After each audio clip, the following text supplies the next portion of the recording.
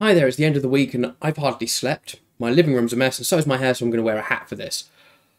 Over the next couple of weeks, I'm going to be releasing several add ons as well as an update for Mr. Mannequin's tools. One of those add ons is a rigging add on, which enables very quick and easy modular rigging of characters. It's kind of an expansion on some of the stuff I was working before, but it's now its own add on, and Mr. Mannequin's tools will work with it and have the rigging from it. And I wanted to show some of that off. So I'm going to start a timer in a moment and I'm going to show you just how fast I can rig the mannequin from pretty much nothing to having to having him animation ready and then I'll explain a bit about some of the new controls. So let's start this timer in three, two, one, let's go. Okay, so I need to add in a mannequin first of all from the new mannequin operator. Let's hide that cube. I always feel bad deleting the poor thing and we're going to start adding some rigging in pose mode. So the first thing I'm going to add is a spline chain for the spine. Explain more about this afterwards. Default shapes, default groups, wants a chain length of 6. Okay, that's perfect. I want a spine 03 as the target though, please. And let's move on to the hand. That I don't want the IK targets. Let's just hide those for a moment. So then we're going to want to do the arms. So I'll add in an opposable chain with default shapes, default groups, can have a floor target as well. And it's positive to be negative X on the left. We've got head hold twist bone, so let's add that in. So it holds the deformation back at the head of the bone. It does want an offset for acrobatic animations. And its target is going to be the upper arm. Watch this menu close on me. These things keep closing on me at the worst possible moments. God, I didn't. Thank goodness for that. It's ruined the past like six attempts that I've tried to do this. Those stupid drop drop downs or pop ups, whatever you want to call them, where you select the bone names. Uh, next twist bone. There's tail follow, so it follows a bone and causes the, causes the deformation to follow a bone. That's going to be the hand in this situation. There we go. And I used to use offsets on these. They don't really need them though. So I've sort of, I'm not going to do that now. And then we can do the other arm. Again, it's opposable. This time X is the right axis for it. And it can have a floor target as well. And that's that. Then we can add the twist bones in, same as before. Head hold on the upper arm. Please don't close on me, you annoying little menu upper arm R this time, and then the lower arm twist, same again, tail follow, default shapes, default groups, doesn't need an offset. That's to the hand R. Oh, awesome. Arms rigged. Right. Feet. That's the IK bone, not the actual foot. Right. Add a bit of rigging. This is going to be Plantigrade, so a nice leg chain with the controls that everybody knows and loves. Pivot for it is, well it's going to use a floor, and its pivot is the ball of the foot. CB ball. Look, see, menu closed. I knew it happened to me. Hate it. Actually, the balls are there. The balls are already here. The balls are in the building. But they don't want to let me click on them. Menu keeps wanting to damn well close on me and this is negative x, just like the arm. Then we can add in the thigh twist. It's a head hold. All the menus are going to start closing on me now, and it's going to wind me up. Targeting the thigh itself, thigh L. Then the calf twist, tail follow, much like the arms. That's how it goes targeting the foot. And then we've got the other leg to do. That looks right, doesn't it? Yes. Okay, so we've got the other leg. That is the IK bone. And then we're going to add in another plantigrade chain. Default shapes, default groups. Pivot is the ball. She's probably going to close on me again now, but the right one, I didn't close. Amazing. Thank you. use a floor target, please. And then we can do the thigh twist again, head hold. Pretty much copy pasted really, isn't it? Just doing the same thing over and over. But it's much quicker than doing it by hand over and over again. This is targeting the thigh, but the right one this time. And then the calf twist, tail follow, default shapes, default groups, doesn't need an offset, to the foot, CB, foot R. There we go. Awesome, that's him mostly rigged. Now we just need to do the fingers, because fingers are annoying to animate on a good day, let alone in entirely in FK. So let's make this a little bit bigger so we can see what's going on. And we're going to add in scalar chains for these. So they're scaly. I'll show how they work in a moment, although I think most people probably know about this rigging if they've used Mr. Mannequin's tools already. Default shapes, default groups, use a floor, and I would usually set the floor root to be the hands floor bone if it had one, but I'm just not going to right now because it isn't actually necessary. It can be done as an afterthought. So that's that. So we're going to add in another scale chain. Doing these fingers is actually pretty tedious. Right, most of it's pretty tedious, the fingers are extra tedious. So I'm probably going to try and automate this. I plan on doing some proper fully fledged hand rigging in the future. But for now, this is what it is. It does what it needs to do. It's usable. It's not perfect, but it's usable. Pretty much just have to tick three check boxes on each finger, adding it in. Scalar chain, tick and tick and tick. And then we can go to the other hand and add in five more scalar chains. So now this is what I mean, it's tedious, just doing the same thing on each finger. I really want to make this a bit more automated, so like you can select all the fingertips and it'll do them all at once. Just be a lot less hassle. I don't use default layers. I haven't finished setting those up just yet. I mean, most people really don't even need layers. I've got a bunch of hiding functionality, like hide buttons that I haven't set up yet. I disconnected them while I was working on the more technical, like how the rigging actually works, you know.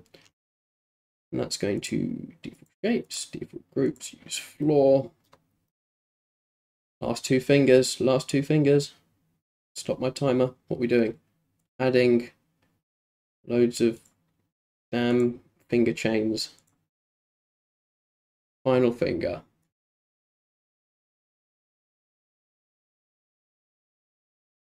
mm, default shape, default groups, and use floor. And that's him done. Stop the timer. How did that take? Seven and a half minutes. That's not bad for what would take most people a good hour to two hours to rig. All of these, all of these constraints, all of the creating all the bones in the right place and constraining it, and this add-on just did it for me in a fraction of the time.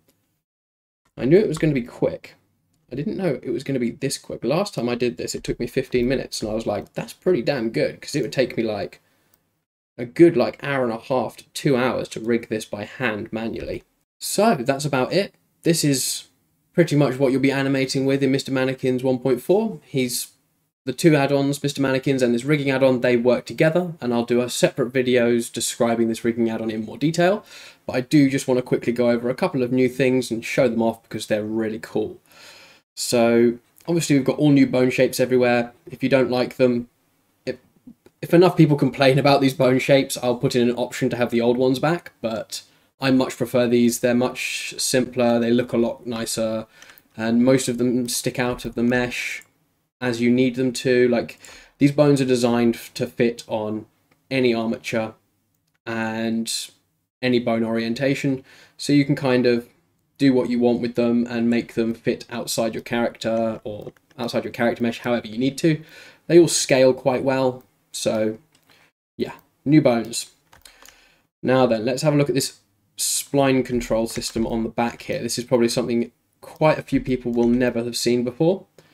So this spline rigging I owe credit to Dikko for. I think his Twitter handle is at Dikko Art. I know that he has a YouTube channel that is significantly more successful than mine, but he's a very good blender rigger. I highly recommend watching his videos, and he's just he's just fun to watch. He's not he's not too boring. He's not doesn't leave out too many details, you know, and all of his rigging works, which is surprising for most YouTube videos. Most blender rigging YouTube videos are pretty terrible.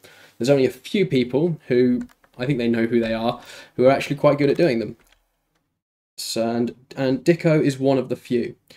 So we've got this truly sublime spline system from him. Now I have used spline systems before on tentacles and tails, but I never actually thought to use them on a human spine. And he sent me a sample file which was a little bit different to this. I've kind of done it. I've taken what he was doing and done my own thing with it. So there's a couple of different ways to use this. Let's quickly highlight that.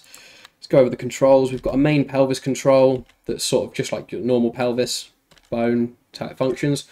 Then we've got the various targets. We've got a target at the bottom for the pelvis, so he can shake his moneymaker without influencing the head too much. This is really handy for first person animations when you've got a camera stuck to his face. You can control the head bob with the up and down, and you can move it side to side and have very little impact on how the head moves. It's a very natural movement. And then let's show off the stretching as well, because we've got two. These pink and purple bones here do serve a purpose, although they don't need to be visible. I'm having them visible for this so that I can show what they're doing quickly. So what we've got here is the purple bones fitting the curve. They're scaling themselves to fit along this curve at all times, and the pink bones just fit along as far as they can without scaling. So what I've done is I've added in a control for this so you can blend between either.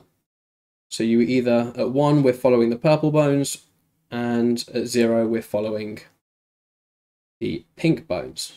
I figured like there's a couple different situations where you'd use either end of this. There's also situations where you'd even key between them to get balance. So this is a great way. It's a great little control. It's good fun.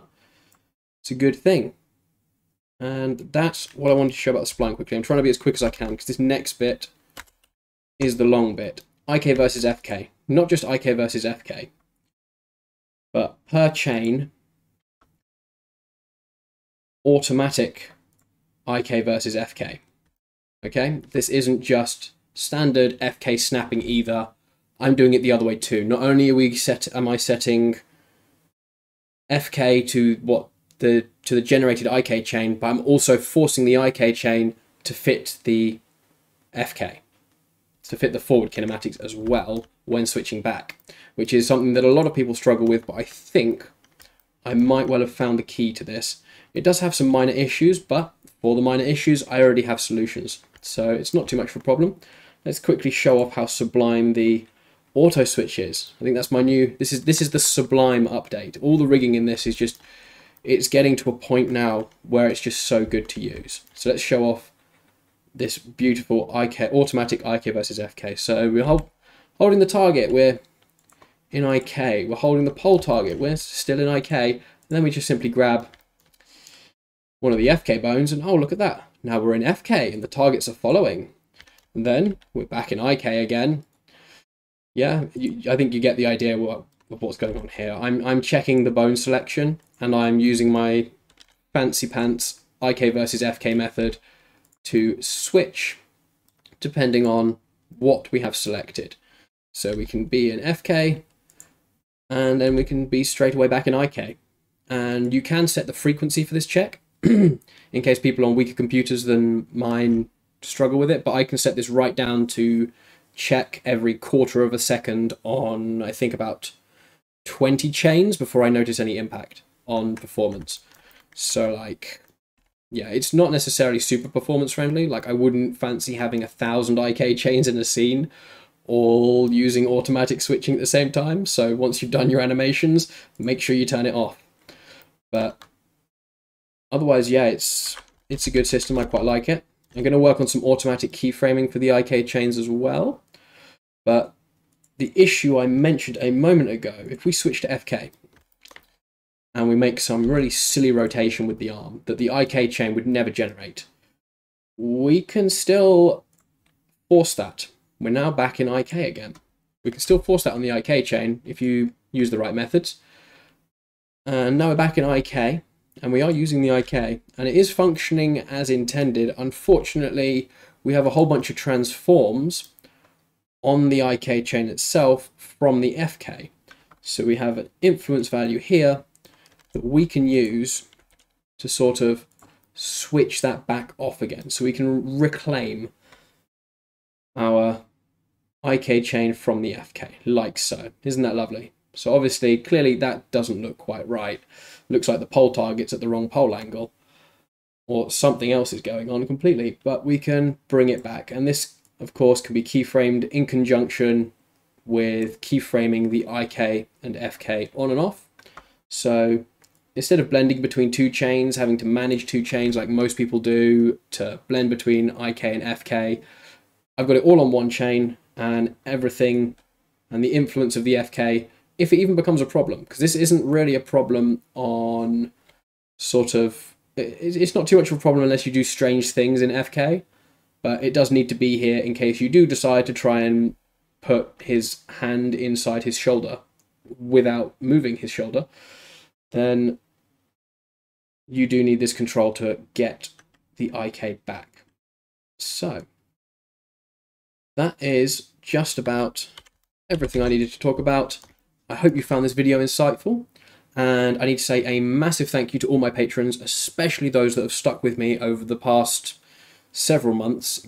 Lord knows it's been a long time since I've produced any content because I've been so busy working on this as well as just I've, I've just been too busy with my daughter being off school from global pandemics and things like that. So I haven't been able to do anything, and it really means a lot to me that the people that have stuck around have stuck around. That really means a lot to me, and I'm very pleased to have you as associates and as supporters. So I hope anybody that watches this have a great day, and I hope you stay well, stay healthy, and so does all of your family. Goodbye.